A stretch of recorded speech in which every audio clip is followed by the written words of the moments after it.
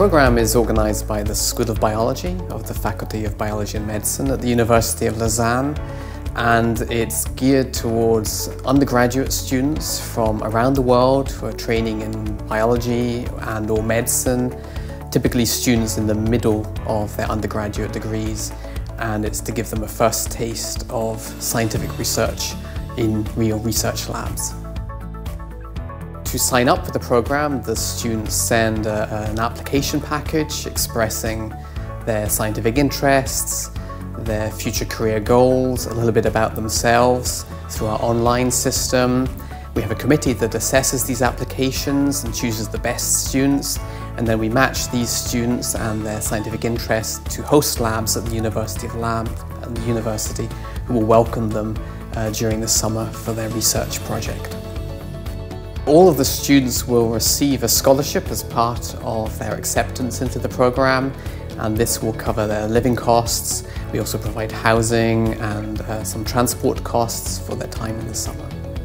The heart of the SURB program is the chance for a student to do a research program in an active research lab and that will occupy most of their time during the summer.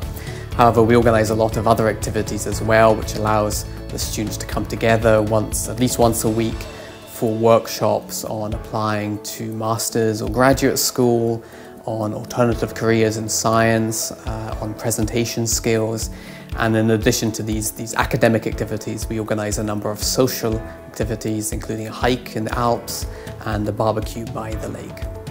So each year we welcome around about 15 to 20 students into the research labs at the University of Lausanne and they will spend eight weeks here doing a summer project. Each student will integrate into a different lab at the university and they become really truly integrated into the research activities of that group. And this allows them to interact both with the professor, perhaps most closely with their own personal mentor, who is typically an advanced graduate student or a postdoctoral fellow, as well as the rest of the group of the host lab. One of the main strengths of the program is that it gives students an opportunity, often the first opportunity, to do research at the cutting edge. I think another strength of the program is that it's extremely international. So we welcome a group coming from all around the world and this allows uh, a remarkable cultural and, and social exchange between students who have very different backgrounds.